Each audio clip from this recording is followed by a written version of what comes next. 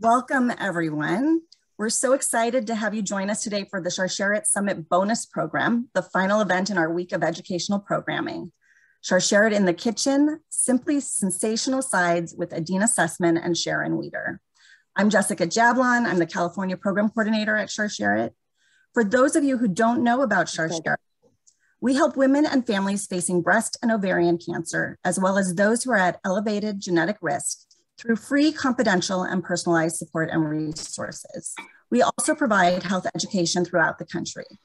One of our goals during COVID is to make sure that we are offering healthy living and cancer prevention information to you during this hard time and giving you what support you need. In addition to our virtual services that can be found on our website or by emailing us, you can also access prior webinars on a range of cancer related topics, as well as access our calendar of upcoming and virtual programs through our website. Before we begin, a few housekeeping items. Today's webinar is being recorded and will be posted on Sharsheret's website along with a transcript. Participants' faces and names will not be in the recording as long as you remain muted. If you would like to remain private, you can turn off your video and rename yourself, or you can call into the webinar. Instructions are in the chat box now for both options. You may have noticed that all participants were muted upon entry. Please keep yourself on mute throughout the call. If you have questions for Adeena or Sharon, put them in the chat box, either publicly or click on Share It in the chat box to submit a private question and I will ask them throughout the program. Now, as we move into the webinar itself, I also want to remind you that Sharsheret is a national not-for-profit cancer support and education organization and does not provide any medical advice or perform any medical procedures. The information provided by Sharsheret is not a substitute for medical advice or treatment for medical specific medical conditions. You should not use this information to diagnose or treat a health problem. If you have any questions that are specific to your medical care, our presenters may not be able to advise regarding specifics, and we would advise that you speak to your medical provider. Always seek the advice of your physician or qualified health provider with questions you may have regarding a medical condition. We are thrilled to be a new season of Sharsheret in the Kitchen, an initiative in partnership with Cedars-Sinai here in Los Angeles to empower those of us at risk for breast and ovarian cancer to make healthier diet choices. Prior the kitchen webinars and information about our nutrition pilot for Los Angeles County residents can be accessed on our website at the link in the chat. You should have received the recipes for today's program in advance, but my colleague is going to put the link in the chat box so you can download and print it or see it on your screen. We want to thank our generous sponsors, Cedar Sinai, the Cooperative Agreement DP 19-1906 from the Centers for Disease Control and Prevention, and our incredible summit sponsors who were displayed on the introduction slide. It is thanks to their support that we are able to continue to provide our series of webinars throughout the pandemic. Now, before we get cooking, I want to introduce you to Carly, who is going to share her personal story with us. Thank you, Jessica. Hi, everyone. I'm Carly. Um, March 20th, 2017. That was the day I found out my mom had breast cancer. The day, the place, the conversation, it will forever be ingrained in my mind. My family had never imagined that we would be coordinating chemo and radiation schedules, creating master calendars for who would take my mom to doctor's appointments, and yet here we were. One of the first things my mom did when she found out she was BRCA negative Oh, I'm sorry, when she found out she had breast cancer was to test for the BRCA gene. When she found out she was BRCA negative, we all exhaled a huge sigh of relief. While it didn't ease the pain of her situation, it did bring some comfort knowing that there was not a genetic component. After a double mastectomy, two rounds of chemo, one round of radiation, and a reconstructive surgery, my mother was declared in remission. In November 2020, my uncle, my father's brother, suddenly passed away.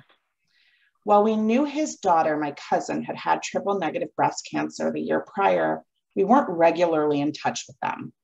But when he passed, we started to reach out more and speak more frequently.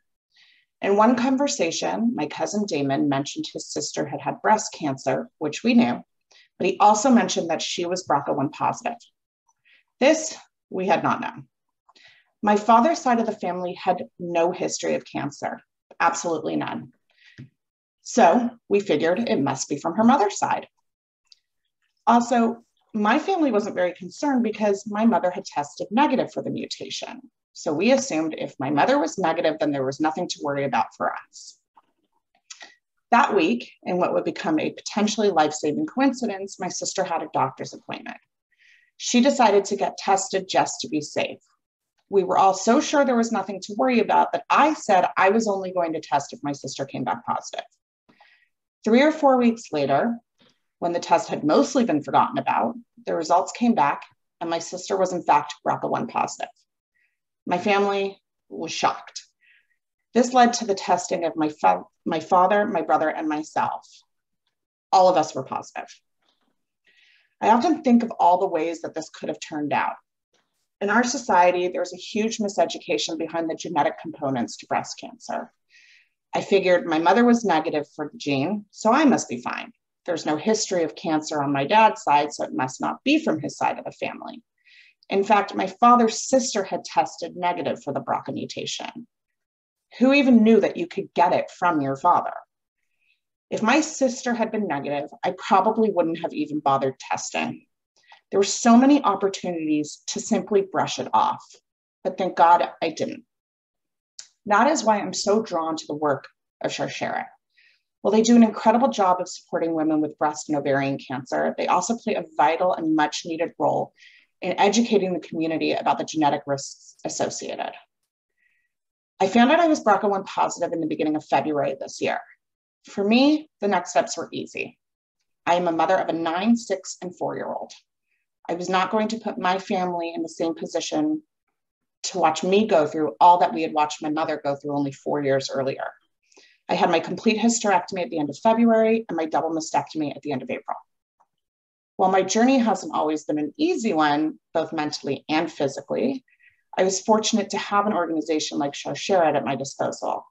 The incredible staff members and their resources played an important role in further educating me about the gene and what that meant for my children and the rest of my family, helping me process, process my diagnosis, and now giving me an incredible platform to share my story and to hopefully help others.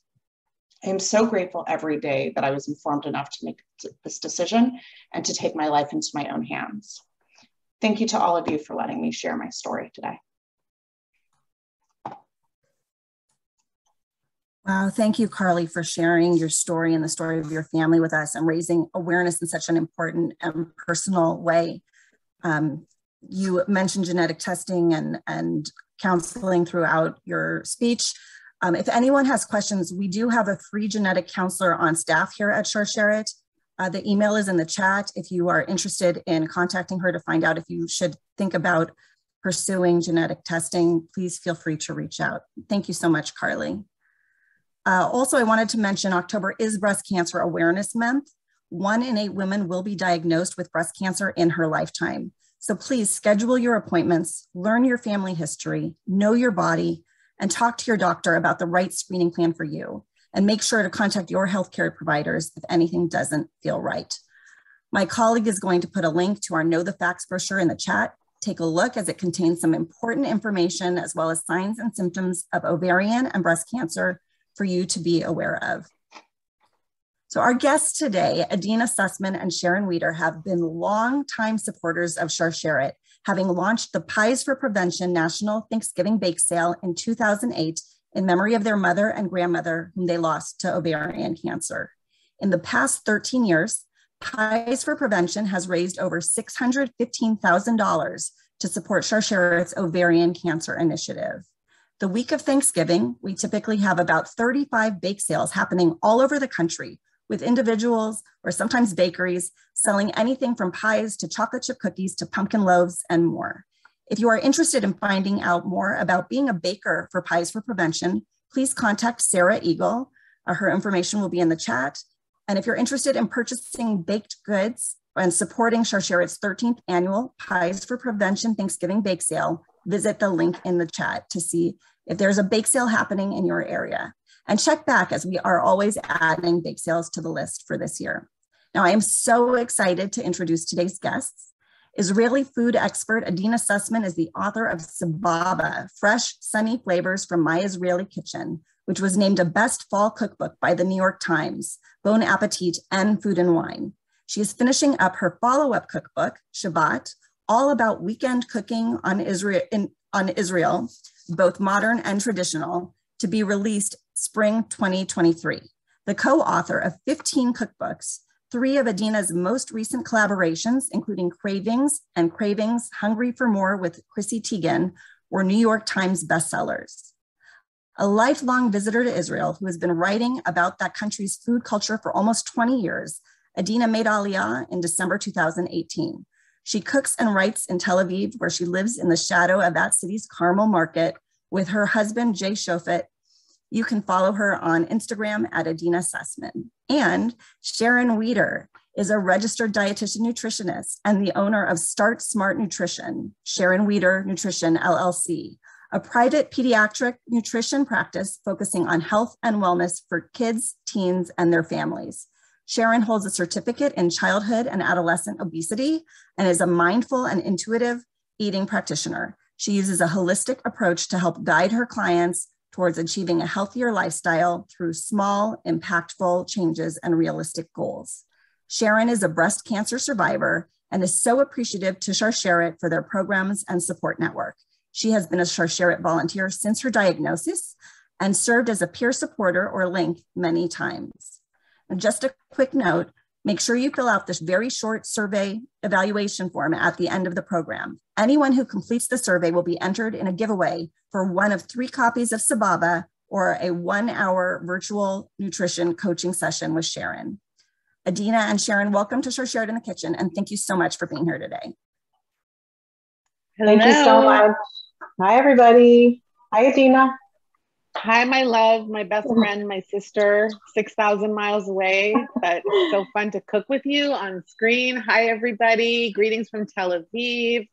It's nine o'clock, um, and Sharon and I are so happy to be here. Um, I think I can speak for both of us when I say that there is no cause that we are mutually more connected to than Sharsheret. Um, we, as Sharon, as a breast cancer survivor, which she will tell you about, um, we just embrace this organization and are thrilled to continue to be involved. And we'll tell you about our involvement over the course of the next 45 minutes or so. But I'm going to hand it over to my wonderful sister to get the cooking going and tell everyone what you're making. And we'll just have a nice schmooze like we always do when we're cooking together.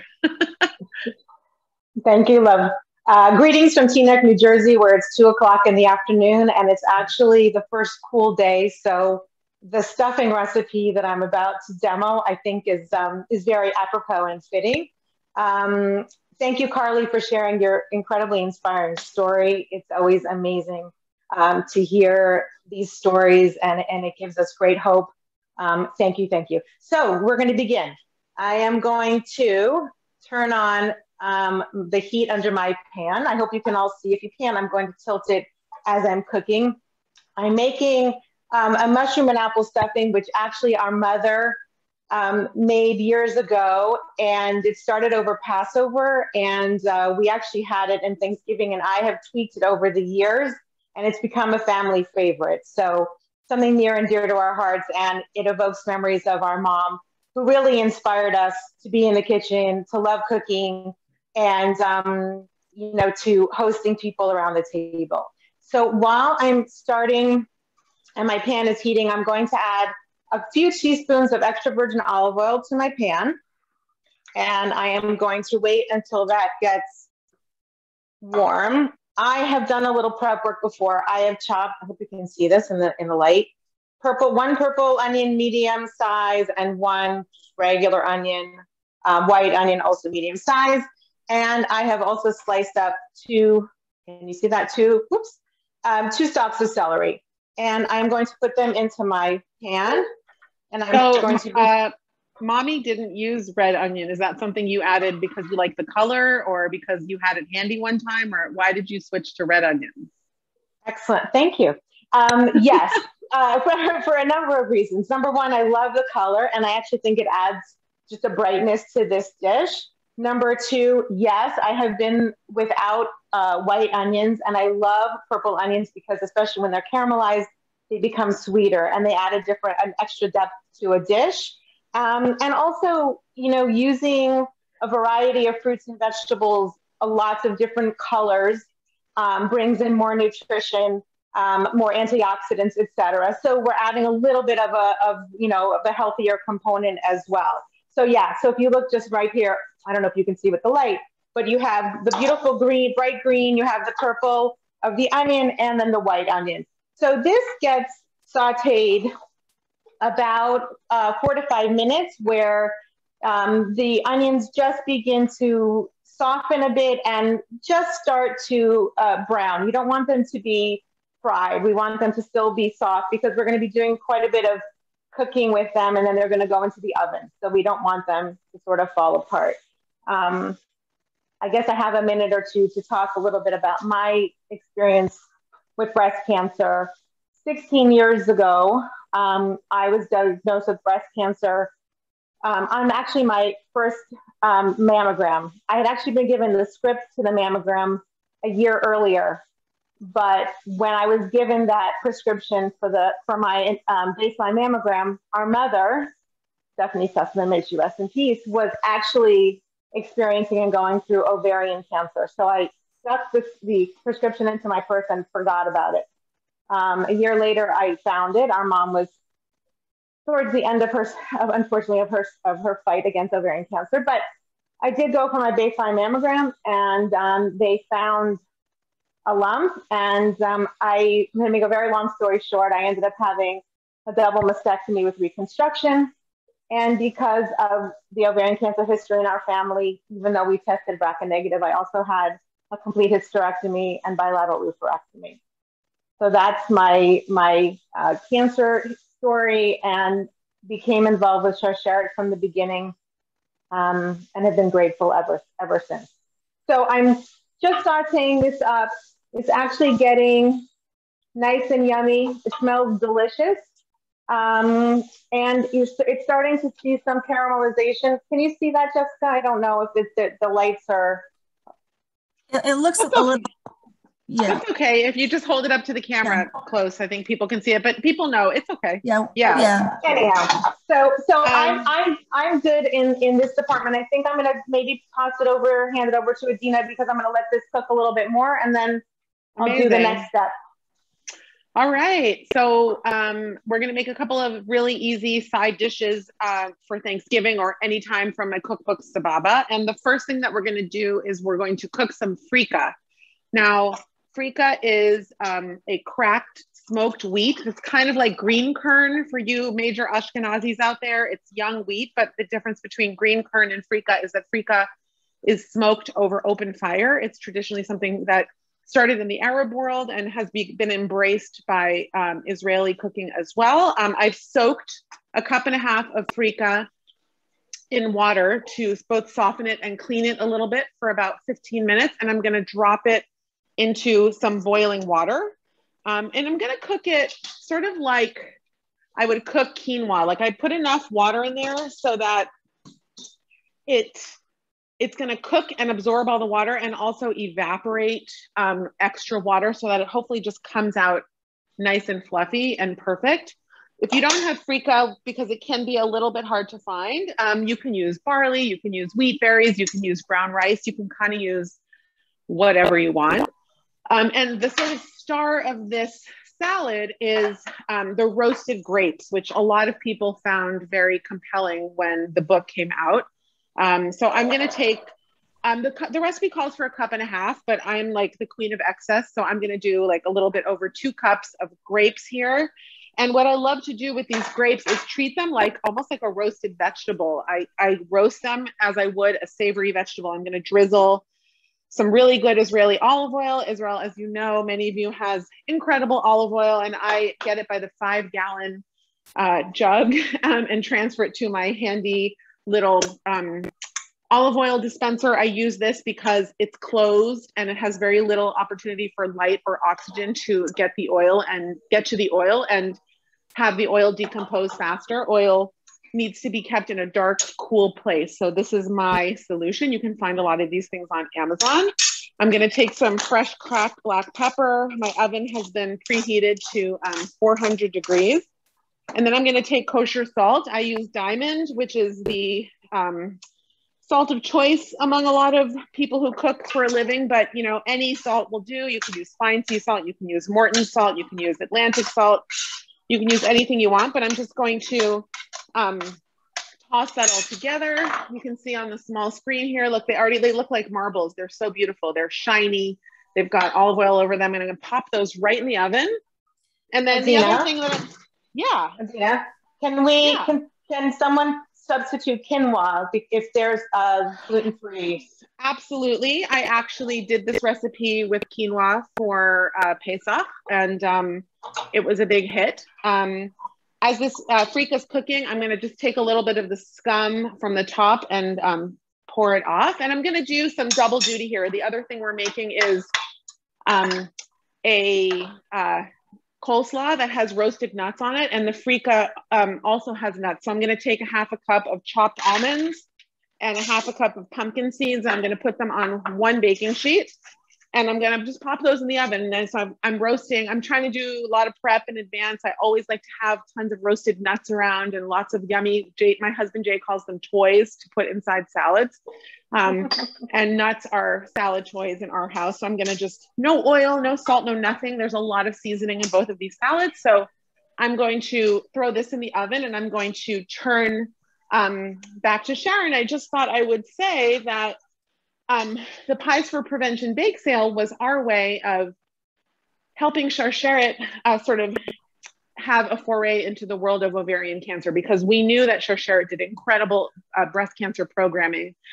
And we thought that the model was there, and all we needed to do was take the disease that was relevant to our family and start helping people. So Sharon and I, on a lark one Thanksgiving, decided to start baking pies together and lo and behold, we raised $16,000 the first year, and a friend volunteered to do another sale the next year.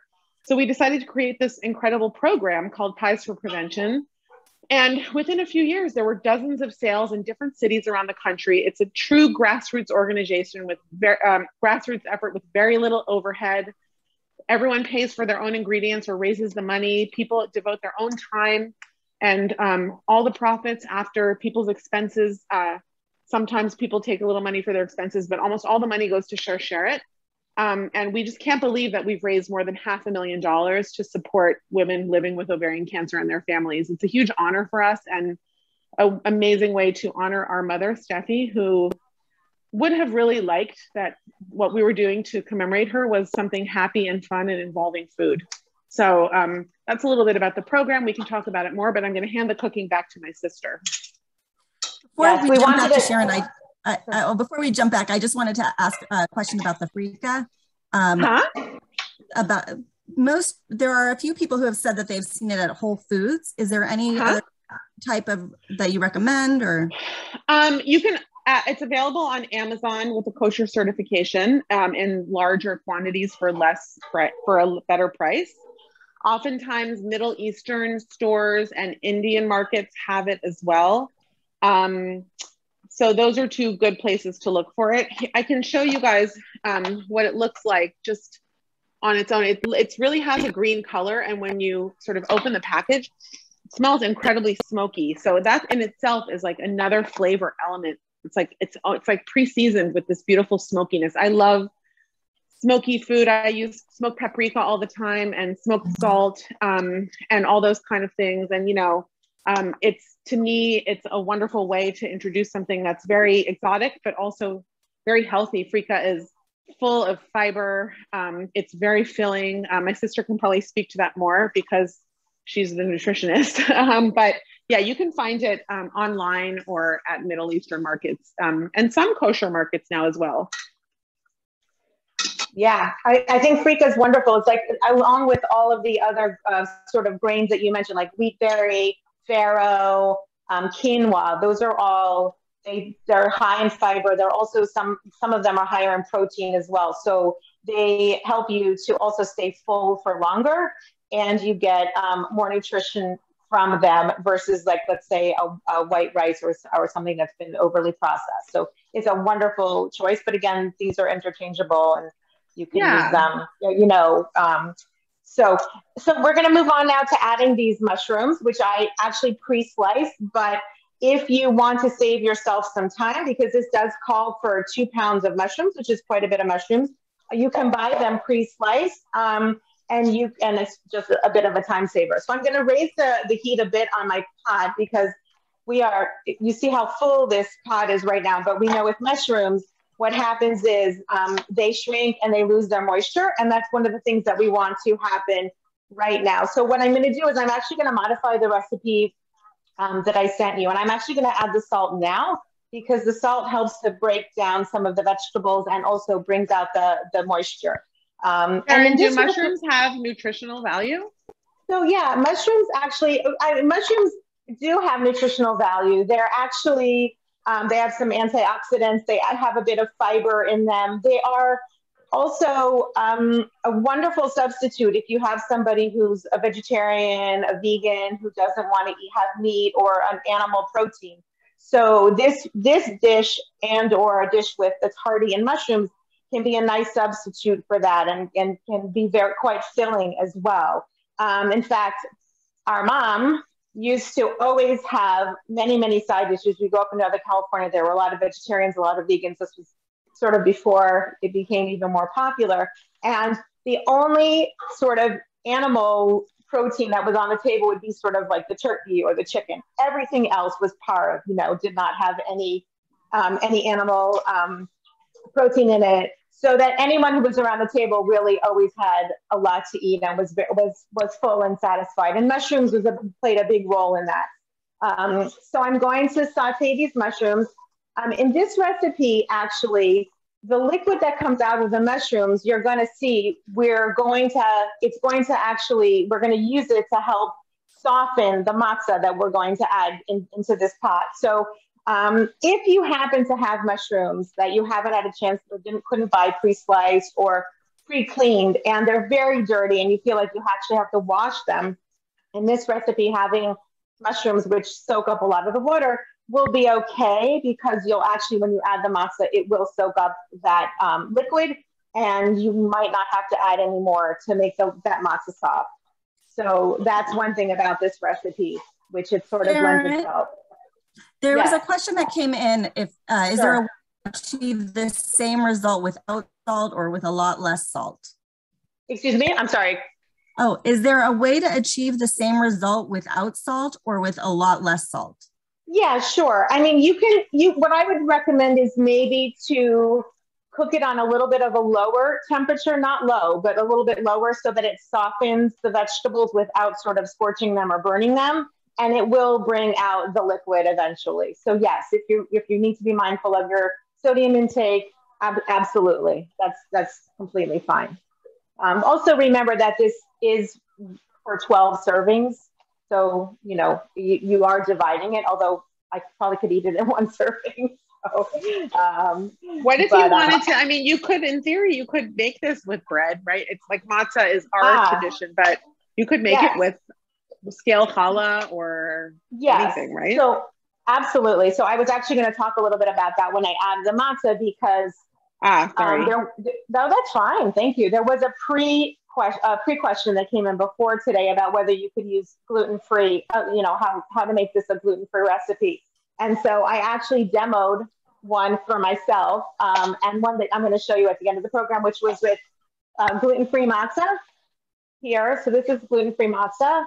Um, the thing with this matzah is that it actually has eggs. So if you have a vegan, it's something you know you might want you might not want to use this because it does it has eggs in it. However, I did find a um, Katz's. It's a it's a, a gluten free gluten free nut free egg free product that was English muffins, which I thought you know like a bread stuffing you could use that um, instead of instead of the matzah, and then you would really have a gluten free vegan um, substitute for that.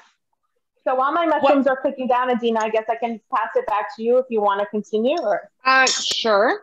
Uh, I'm gonna just bring the quinoa uh, the uh, Freekeh close to the, the camera so you can see it's bubbling. The water is starting to evaporate. Um, the water has kind of a dirty, cloudy appearance, but that's fine. It just because the the product is smoked, it when it's cooked, it releases like the smokiness into the water. So that's still cooking. Um, my nuts are now ready.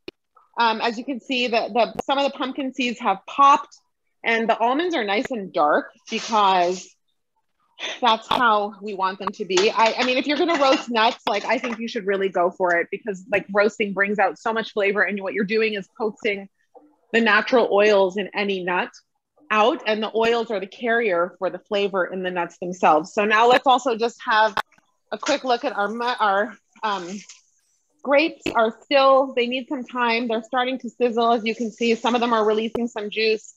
They look gorgeous. They actually brighten in color as they roast. Um, but I'm going to start, and by the way, the recipe called for walnuts. I didn't have any walnuts in the house, so I decided to use almonds, and that's just kind of the Sussman way, like whatever we have around is what we use. So I'm just prepped, I prepped a little bit in advance. I cut four cups each of um, purple and white cabbage. Sharon, I wanted to ask you also in relation to onions, like, is mm-hmm. there a mm-hmm. difference in nutritional value between uh, purple cabbage and white cabbage and also between red onions and white onions, or are they like exactly the same? So they they have some different the, the colors actually, just like in peppers, sort of. There are yeah. different nutritional yes. So again, we talk about eating the rainbow, about you know uh-huh. bringing in the different colors. So yes, you're gaining. It doesn't mean that white cabbage, you know, it, it should not, okay. you know, you shouldn't eat it. But yeah, absolutely. Yeah. The more colors okay. that you bring in, the more types for sure. All right. Along that, guys- along those. Oh, oh sorry. sorry uh, along those lines, somebody had asked if brown rice is a better substitute than quinoa for the freekeh for gluten-free individuals. Um, do you have an opinion on that? Sharon? Me, uh, from a nutritional point of view or from a culinary point of view? oh. So from a nutritional perspective. Oh. Yeah, Go ahead, you're there. Okay, I'm sorry. Can you hear me? From a nutritional yes. perspective, quinoa is actually one of the, I think, the only grain that's a complete protein. Um, there are amino acids, I think 13 amino acids that combine to make a complete protein. So animal protein is complete. But usually, like when we talk about rice and beans, um, combining them, that is that was so that we could get a complete protein for somebody who isn't eating an animal, you know, an animal protein. So quinoa actually happens to be a complete protein. So as far as nutritionally goes, and it has more protein, more fiber than brown rice. I've actually, I, you know, looked at, I read labels all the time when I'm shopping, food labels, and surprisingly, brown rice very often is like two grams of fiber. We think it's going to be very high in fiber, but it's actually it, it's better than don't they sometimes po- don't they sometimes polish the rice and take off yes. some of the fiber like that's yes. the issue with the rice yes right? so not all brown rices are equal but i think nutritionally if you can and you not everybody loves quinoa um, but if you i think quinoa would be a, a, a, a more nutritious um, you know choice not to say you yeah. can't use brown rice but if they're asking all right, you guys, I'm slicing some radishes. And what I did was, if you can see, I cut the radishes into sort of like thin, uh, just sort of thin rounds. And then I go across with a knife and I make like really simple julienne, kind of the same technique that you would do with, um, with ginger. That's the way I like to, I peel the ginger and then I cut it into like nice kind of planks as they're called, as they taught us in culinary school. Very, very fancy. Um, but for something like a carrot, I, I have my julienne peeler, which is one of my favorite kitchen tools. And I'm just going to take that and cut beautiful strips. I really like hand cutting things for this salad just because I like a variety of lengths and thicknesses and textures for the vegetables. So like the cabbage I chop by hand. Of course, you can do everything in the food processor. Please don't, I'm not, ju- no judgment here. But if this is just one carrot and I really like the, the result, I'm just peeling here. And once you once you peel a little bit on one side, you get a flat surface going and you can just kind of keep um, keep going here until you have like some really nice carrot shreds. Um, this is also great if you're doing zoodles. You can also cut down on um, pasta by adding some carrots and cutting down on like rice noodles. It works really well with actually if you're doing like an Asian dish. Um, and I do this sometimes with different vegetables. So these things and all of my cabbage and everything are going to go into um, a bowl. And Sharon, you tell me when you're ready for the next step, or I can just keep going. But if you have something to do, feel free to, yeah, to, to contribute. Absolutely. So perfect timing because the mushrooms have actually released a lot of water. Um, and it, they've actually shrunk a lot in size. It, it's probably, they're probably about half, this mixture is about half of what it was when I added the fresh mushrooms. So um, I'm going to tilt it. Hopefully you can see how they've shrunk and, and down. But what I'm going to do is um, I am going to, the other thing we're going to rehydrate is actually our raisins.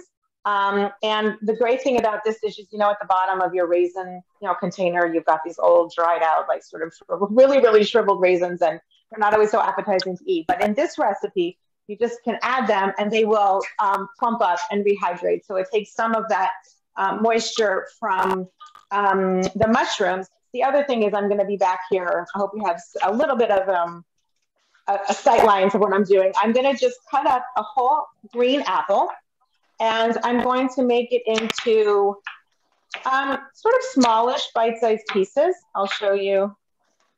With the skin on, right?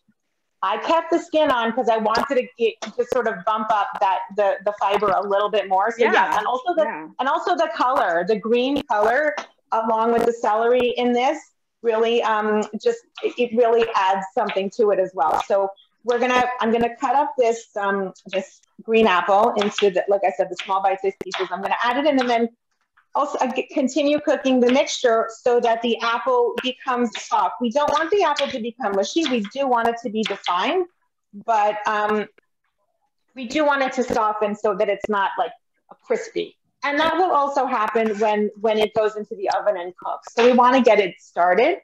So I just mixed um, so now you could slice like apples, or you could yes, use dried apples. Absolutely. You could use red apple. And, and by the way, yeah, I was just going to say, if you don't have a Granny Smith or a green apple, you can use a red apple, which would also probably add some very pretty, pretty color as well. Um, I like the, the the Granny Smith because it adds a little bit of tartness. It's not a super sweet um, apple, so it plays off of the raisins, and we're going to add a, just a, a drop of honey. So um, I, I, happen to like that for, for those reasons as well.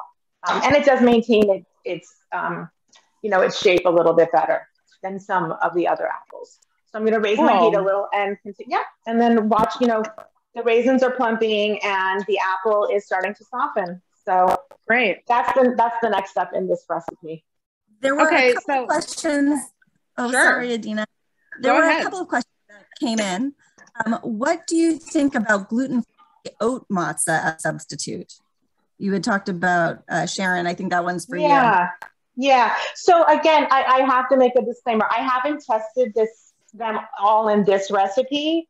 So what um I, I think that any anything you can try anything and see if it works. I don't know about the texture or how if it holds its shape um, when it's you know when you I, add. I totally think it will work. I think any yeah. matzah will work. I think whole wheat matzah will work. I think I, egg. We're egg using matzah, whole wheat matzah today. I think you know. I think honestly, you can't go wrong. Like the matzah doesn't really maintain its super integrity anyway. It does get really soft, and so maybe it'll be a little softer or a little more al dente depending on what kind you use. But I, I personally think you could use any kind you want, which is what our mother would do based on what she had in the house. Absolutely, exactly. And whatever you know whatever we're seeing like it, it does you know you you'll see at the end there are you can see pieces of matzah but it's it's not if, if it falls apart a little bit more it's absolutely fine. I would say try okay. it. I'm just going to advance along my uh, quinoa my quinoa. So as you can see here uh, my uh, freekeh is done. You guys all the water has evaporated from it and what i do is i don't want i want to serve this room temperature so a, a nice thing that i do is i i sometimes decant my grains onto a sheet pan and spread it out. And that way it just really cuts down on the cooling time. So like this is just, you know, it just anything that's piled up is going to take longer to um, to cool. So I'm just taking all my quinoa. My I keep calling it quinoa because it's almost 10 o'clock, but it is freekeh after all. And then I'm, I think that my grapes are ready to come out or are close to it. So I want to show you. They look great. They're they're wilted, as you can see. What I like to do is I like to sort of tilt it, and if I see that a lot of juice is coming out, then I know that the grapes are almost ready. Um, and this, I'm gonna put them back in for another couple of seconds. Um, but those are the basic ingredients for a vat salad. I have my roasted nuts, I have my freekeh ready, I have my grapes uh, roasted, and then, you know, it just has a bunch of herbs and a super, super simple dressing. But one thing I'm gonna do for my um, slaw is I'm going to take also Sharon, I'm using a green apple. So I guess we're apple tones today. Um, and since the dressing has vinegar in it already, what I'm going to do is I'm going to take my apple and just really thinly slice it into wedges. Like I'm not going to do anything fancy here. And then because the apple might sit in the salad for a little while before um, I actually complete the dressing, I'm just going to toss it in like a tiny bit of the vinegar that's in the dressing. So that way it'll prevent the apple from browning. Um, I just, as you can see, there's like nothing special about the way I'm cutting this apple. And you could do kind of whatever you want. You could use red, you could use green, you could even use a pear, which I think would also be super delicious, especially this time of year. Um, and I'm gonna just take a little bit of cider vinegar. Um, I'm not measuring, just I'm just doing just enough to prevent it from browning. And I'm going to add that as well to my slaw here, which is developing nicely. So you see I've got orange, I've got um, apple green, I've got the pale white of white cabbage, I've got red cabbage, I've got, um, I'm gonna add pomegranate seeds and herbs and it's gonna be this, our mother always said you should have at least three colors on the plate. And I think that this dish passes the test. Um, Sharon, are you ready to carry on with another step or do you um, need a little more time? There's, no, absolutely. There are a couple of questions that came in, if I could just interject. Sure. Um, one was when you are roasting uh, the nuts or um, the grapes huh? on um, a cooking sheet, do you, uh, it looked like you did not use parchment paper, but somebody was asking um, I definitely wouldn't use parchment paper with the nuts because there's no oil, there's nothing sticky that's going to impact the sheet itself. I am a big fan. I, I, use all of my sheet pans for food styling and I like them to look messy and used and cruddy and old. So I like kind of when stuff accumulates on my pans, I don't need them to look perfect. If you want your sheet pans to look spotless and to have them be really easy to clean, absolutely use um, parchment paper or foil. I think parchment paper is more environmentally friendly these days. Um, some, it depends on what I'm doing. Like if I want something to get really brown and crisp and dark or really caramelized, I tend not to use parchment paper. But if I'm looking for a more gentle, mellow roasting or something that's really, really sticky, then yes, I will um, use. Um, all right, these are done. I'm taking these out. They're gorgeous. Um, yeah and theirs are going to go in our freekeh once everything is cool.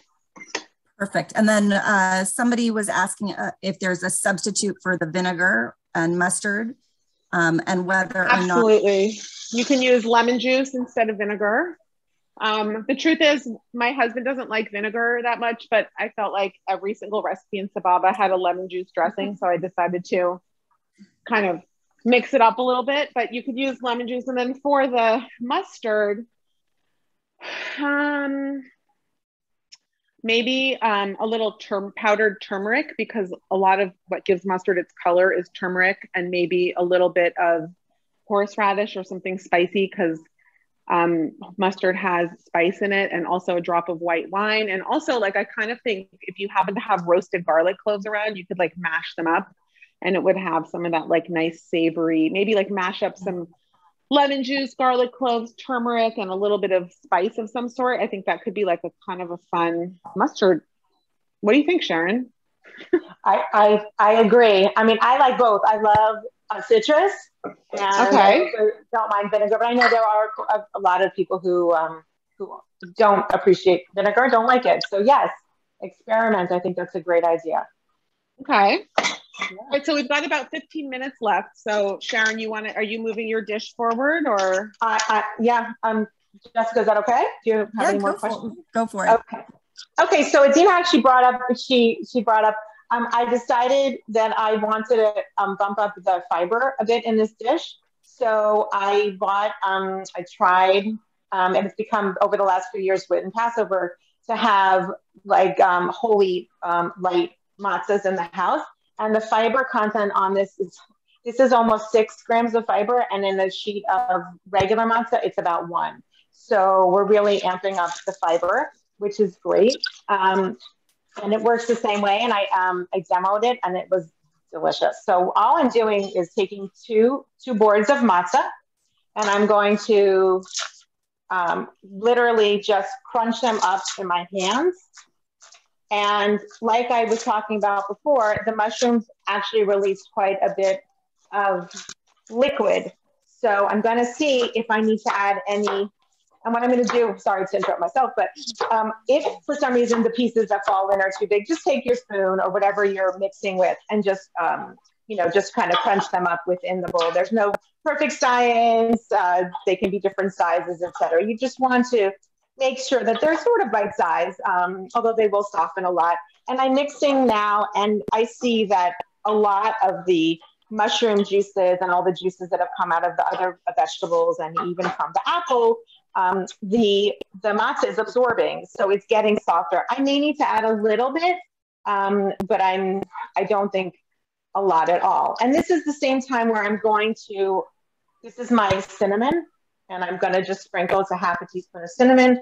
Again, you can actually uh, play around with um, the spices if you want. I mean, you could put in um, cloves if you want, you know, a little bit of allspice. It's really, it just gives it more depth of flavor. Um, in my family, some people don't like those other spices, so I stick to the cinnamon um, in this dish. And then I'm just going to drizzle a, a, a, really not even a teaspoon of honey just to give it a little bit of flavor. Um, and a, a question yeah. in about the mushrooms. If somebody's allergic to mushrooms, would you uh, yes. think about substituting maybe eggplant or zucchini, or what would you recommend? It's a great question, and I, I was thinking about it in preparing for this. So again, I think that eggplant would be okay. It's just eggplant tends to get soft. I mean, Adeena, you from a culinary perspective, you can also obviously I love your input. So it probably would be a little bit of a different sort of um, texture and maybe a little bit of a softer um, stuffing. Um, I think zucchini might work actually pretty well. Um, and you might want to yeah then, maybe you would yeah. want to like pre-sear sear the vegetables a little more. I was just gonna say that. I was just gonna say to get those vegetables, I might want to either maybe roast them or maybe get them brown on the outside so they re- retain their shape a little bit more. Um, and then I think you can yeah you can have fun and see the flavor profile that you like, what goes with what, um, and yeah, an experiment. I think it's a great idea. Great. And how much cinnamon did you throw in there? I did a half a teaspoon. Um, and it's just it's just enough where it smells delicious. I wish you could all smell it. Aroma vision or aroma zoom. Smell vision. Yeah, exact smell vision. Exactly. Um, so you know, I don't think it should overpower the dish because you want the other flavors from the you know the apple and the raisin and everything, but it just complements it. I think. Obviously, if you love cinnamon or you don't like it, yeah, you can you can really. Um, I I just want to highly promote this matzo stuffing, you guys. It's so good. Like, you know, I can't wait for under- you to see the finished product. Yeah. if you under hot, you'll uh, we'll talk about it more, but it's truly addicting. It's so good. It's savory. It's sweet. It's kind of meaty because of the mushrooms. It's got it's it's so good, and the the warm spices and the raisins. It's just a winner, and like it's it's so good. I have I to say it. that I actually asked Adeena if she thought it would be good to freeze and then defrost because I thought for people who want to prepare it in advance and put it in the freezer because there's never any leftovers in my house. It's it's it's always eaten. Yeah. Um. So yeah, yeah. but it, but yes, it, it will freeze well, and I actually have one in the freezer that I demoed a couple weeks ago, just um getting ready for today. So mm-hmm. yeah, Gina. So I'm basically done. Um, I'll let you. Okay. You know, go and then I'm sure. gonna put it in a pan and show you the finished product. Amazing. All right, you guys, I'm going to make two dressings now. I actually pre-made a little bit. So I don't know about you, but like if I have like the scrapings of a tablespoon of mustard in a jar, I'm going to make the dressing in that jar and assume it's the amount that I need. So I'm not wasting anything. So this has, a t- I, it called for two tablespoons of grainy mustard, but I took a tablespoon of Dijon that I thought was on the sides of this. I added about a half a cup of the vinegar. I added a half a cup of olive oil. I added a tablespoon and a half of honey. And what really makes this dressing special is cumin. It's really a surprise, and people really seem to enjoy like that warm, earthy spice in this dressing. And I make almost all of my dressings in jars. Like I just feel why mess up another bowl and whisk another, you know, use another whisk. I just shake everything until it's incorporated. Um, that's one dressing that's ready. Um, I thought I would just show you a little bit about how I chop herbs. I, I pre-chopped here some um, scallions and some cilantro. You know, uh, I'm Adeena, not very precious. Yes. Um, there was a question that came in about replacing the cumin and the cilantro with other spices. Is there anything that you might sure. recommend? Cilantro, obviously a lightning rod, divisive, controversial herb. Um, parsley, scallions, mint, basil, whatever you want to do. Um, you know, one of the things that's the real joy about living in Israel is that like a bunch of parsley like this costs about 50 cents in the shuk where I live. And I don't, I don't peel the leaves off. I just take the whole head of parsley and I kind of like tighten the top and I just chop and you know the, the, the, the stems towards the top are quite tender. So I've now created kind of like a, an herb table here. I have like chopped parsley, chopped cilantro, chopped scallions, and I'm going to use them to garnish and, and, and season all of my salads. And I just like to do, kind of do all those at once. And this salad also calls for a little bit of mint. So um, this is actually spearmint. Um, in the shuk, you can usually find both spearmint and peppermint. Um, I find peppermint to be a little bit spicier. In this case, I am going to take it off of the um, off of the stems because the stems are really woody and tough, and, and you don't need a lot of mint, but I'm There's, just going to chop a little bit a lot of questions just came in about the spices. Uh, do you wash sure. before chopping? And yes. Yes. So I pre-washed my herbs. Um, and I usually put them in a big bowl of cold ice water. Um, and then I put the whole bunch in the salad spinner. And then I make sure it's really dried really well. And I store my herbs in little glasses with water, just like either on the counter or in the fridge, actually, depending on how hot it is outside. So um, I definitely wash my herbs. Yes. And how um, long do store how, how long do store bought spices last? Store bought herbs, you know, you want to look for things that don't look dead when you buy them. um, so, you know, you can get really good herbs in the States everywhere. You know, um, I would just, you know, if, if the recipe calls for cilantro and the cilantro looks a little sad, I would get parsley instead. I would just use your better judgment and get the best products possible and not feel too married to the instructions in the recipe. I always like to say that recipes are kind of more like suggestions than hard and fast rules. And I think that any good recipe, um, it makes itself open to interpretation. So in this case, for instance, we're going to be using um, I'm putting scallions in here, but maybe I'll throw in a little cilantro because I like it. Now look how beautiful these colors are here. Um, and all that I have, so pretty. And then all I have left to do is put in some pomegranate seeds and dress this one. So I'm gonna do that and just show you, um, you know, beautiful pomegranate season here, you guys. I mean, check that out. Like wow. they're so red and so beautiful. Um, you know, everyone has their methods for seeding pomegranates. Sometimes I just do it like this. I'm kind of lazy. I'll just, you know, do them like take some seeds and just straight out of the pomegranate and into the salad. Um, you don't need a lot. They're so bursting with flavor and so beautiful. So I'm going to just hold that up there so you can see how gorgeous that looks. Um, and then I'm uh, gonna dress it, and I'm gonna this this is a salad where, where that can withstand the dressing like for a while because it's cabbage and all kinds of tough stuff. So I'm gonna pour about half the dressing on the salad, toss it, add my pumpkin seeds, and this salad is basically ready for consumption. Um, it gets better as it sits around for a while. Um, you've got tart apples, you've got um, you know, tart pomegranate seeds, you've got earthy carrots, you've got crunchy cabbage, you've got scallions. You could definitely add some jalapenos or chilies if you're into that sort of thing, which we always are around here. Um, but here, I, this salad is ready to go. And I'm gonna just, when Sharon and I sort of present our dishes at the end, I'm gonna put the nuts on top and I'm gonna hand it back over to Sharon to finish her dish and then I'll finish my second dish. There were two questions that came in. I just wanted to ask one to Adeena and then the other one is for Sharon. Uh, of course. And uh, does par, or maybe they may both be for Sharon, does parboiled rice change the nutritional value? I, I don't believe it does. Um, I, I would be happy to look into that, but I am I have not heard that, I, and I don't believe it does. And the other question is, do you find that red onion loses the color and taste in the final product? And what is the function of the red onion versus the white onion? Right. So, like we talked about in the beginning of the of, of the you know of today, um, for number one, the color. Um, it just adds a very pretty color, and I'll show you in the final one. I'm hoping you can see with the lighting in my kitchen. That yes, you do. You are able to see it. It dulls a little bit, um, but it also adds a certain sweetness to the dish. The the yeah, the, isn't it a little more mild?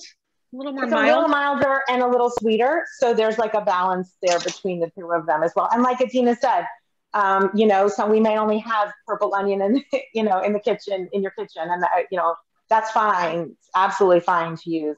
I also just wanted to say something about someone had asked about adding less salt. Anytime you, you want to bump up your flavor, fresh herbs and spices can really add to a dish. And, and then you can decrease uh, the salt that you, you know add to the dish. So that's a way By to the way, did up. anyone else like us grow up calling it purple onion and purple cabbage, even though they're red onion and red cabbage? Because Sharon and I just call them purple.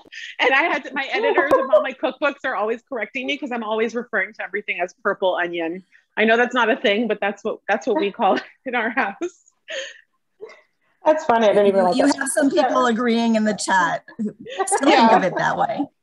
Maybe we need to start a movement to change it to Yeah. purple onion in all the cookbooks. Yeah, yeah. That's right. Yes. It will be pretty nice for the rainbow for sure. So Yeah. I- There's just a way, um, yeah. Yeah. In um ahead, in uh, in the recipe it called for a, an egg and I, I wrote that if you don't want to add the egg, if you want to make it vegan or don't if someone's allergic to eggs, you can leave it out. In this recipe, I actually left out the egg because this matzah doesn't have eggs. So this is actually um, a totally vegan. And if you can see, um, you have I just I sprayed this um, uh, baking dish and um, you can still see very well defined the mushrooms and the the um, the matzah and the um, the you know the onions and the raisins and all. So it, it is true. I do see the the purple onions. I mean, it also depends on how dark. You know, the outer part of the red purple onion is darker. So if you use that, that will maintain the color a little bit more. But when you bake it, also it, you know it gets a nice brown brown flavor as well. So then I will will have preheated my oven um, to 350. And this will go into the oven at 350, probably for about 40, 45 minutes. I would check it. You want to make sure it doesn't get too brown or too dry.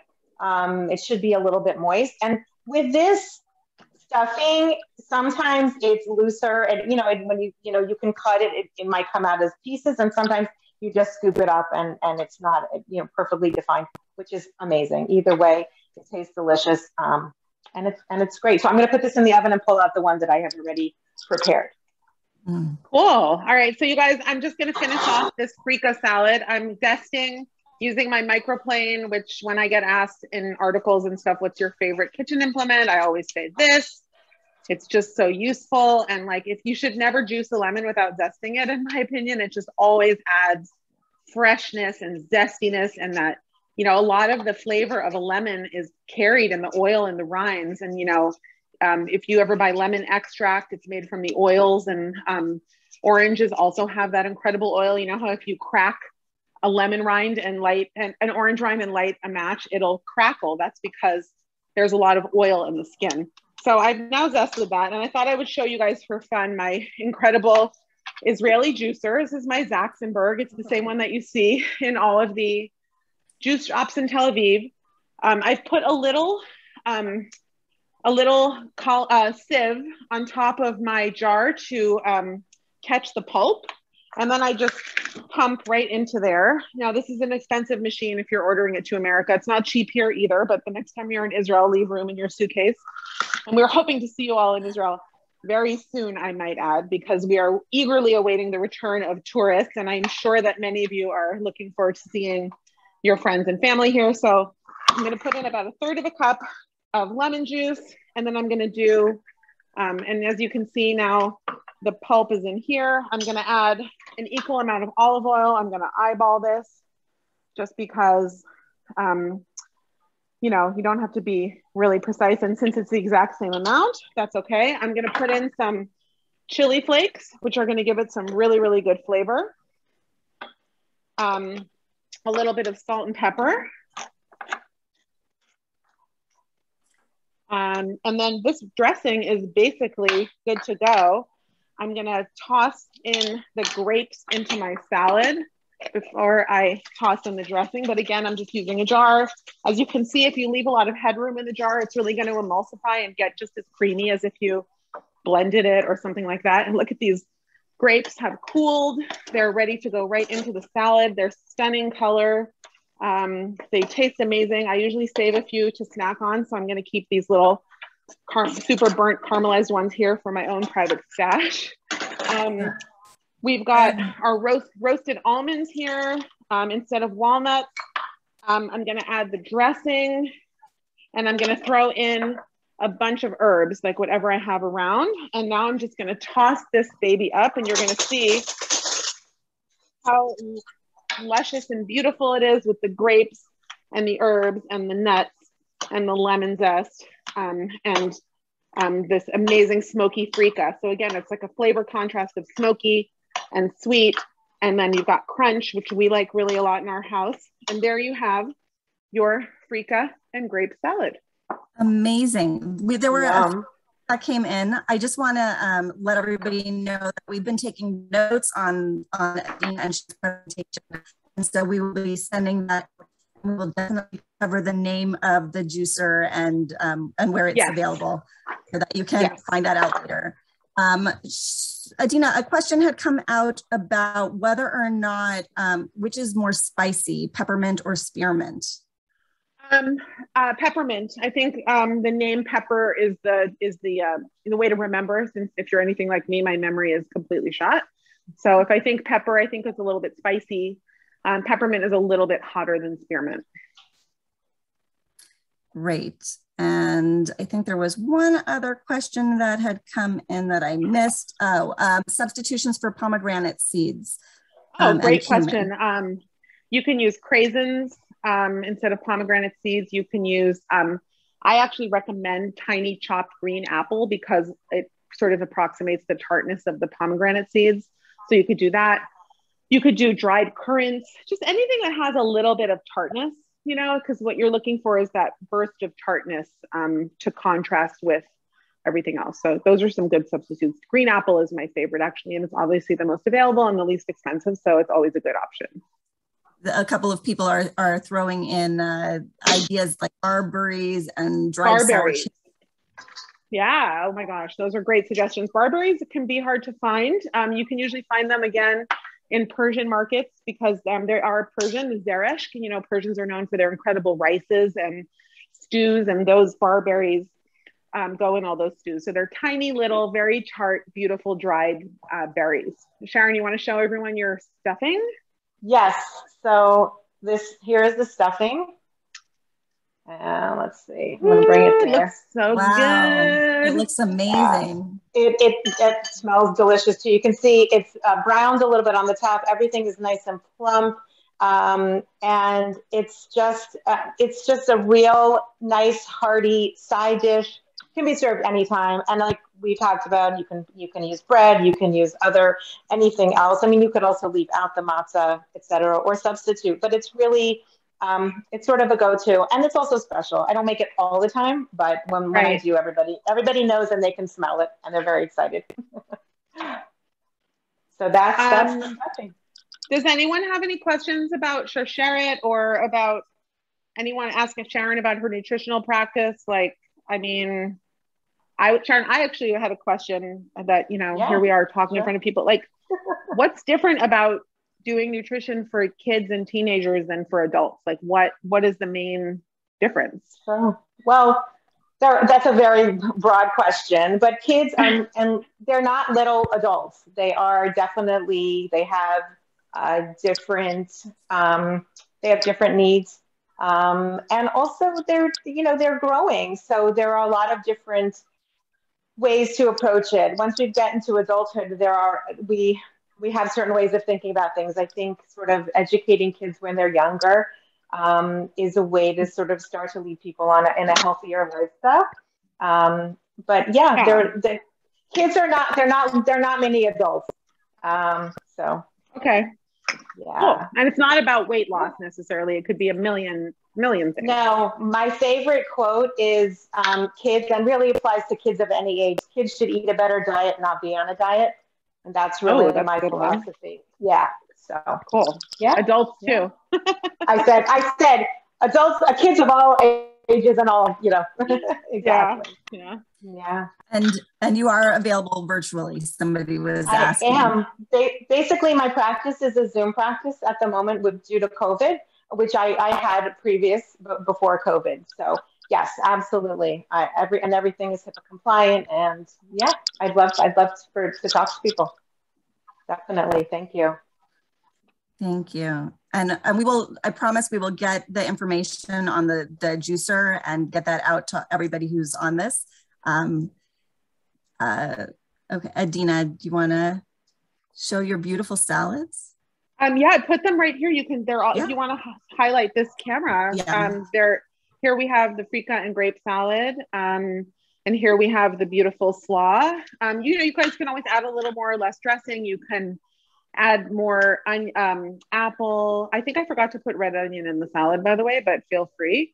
Um, always seasoning with salt and pepper. Salt is the most important seasoning for any uh, food. And if you're going light on salt, um, a little goes a long way. So, you know, um, and that's all from my end. I mean, it was so fun to be here and just to talk so about the bake sale and to see my sister for an hour uh, cooking live. We'll be together in person baking for our Sharsheret bake sale for the New Jersey Teaneck in Manhattan in a few weeks, which we do every year. And we uh, didn't do last year, so it will be really yeah. fun to be back together. It will yeah. be. Yeah. Well, we're so grateful for both of you for being here tonight um, you know, or and this afternoon. um, it, has been amazing and watching you, um, you know, share, share, share it and share your recipes with us has been really just a, such a, a, great program. Thank you. Uh, we recommend that you follow Adeena on Instagram and you check out Sharon's website. Uh, and we want to thank Carly again for sharing her inspirational story with us today. Please take a moment to fill out a brief evaluation survey that's going to be linked in the chat now. As I mentioned, we're giving away three Sababa book cookbooks and a one one hour virtual nutrition coaching session with Sharon. So if you are interested, please completely fill out the evaluation to enter the giveaway. Evaluations really do inform our future programming. So thank you so much for taking a minute to fill it out. We'd love for you to stay connected with Sharsheret via social media on Facebook or at Sharsheret Official on Instagram, where we post about events like these, program updates, and fun ways to get involved. Please never forget that Sharsheret is here for you and your loved ones during this time. Sharsheret provides emotional support, mental health counseling, and other programs designed to help navigate you through the cancer experience. All are free, completely private, one-on-one, -on -one, and our number is 866 474 2774. You can also email us at clinicalstaff at sharsheret.org. Our social workers and genetic counselor are available to each of you. You are our priority. So please never hesitate to reach out. We're all going to get through this together. Finally, I want to let you know that we have several exciting webinars on a wide range of topics planned over the next few months. Our next Sharsheret in the Kitchen webinar is Monday, November 22nd with the kosher baker, Paula Shoyer. Paula will be demonstrating some lighter desserts for our holiday celebrations and the link to register is in the chat. Please check out our website regularly to see what topics are coming up. The link is in the chat and you can also access the recordings and transcripts of all of our past, past webinars on our website. From all of us at Sharsheret, thank you so much for joining us today and throughout the summit. We hope you've enjoyed the informative programming throughout the last week. Thank you. Thank Right, you guys thank you. so much. It was, It was so wonderful. great to be here. Thank you. Such Thank an honor you. and pleasure. Bye. Bye, Sharon. Love you. Bye, Love everyone. you. Thanks for following along and stay in touch. Yes. And we look forward to being in Yeah. touch with all of you. Be Bye. well. Be healthy. Bye. Bye. Bye. Taking off the suit.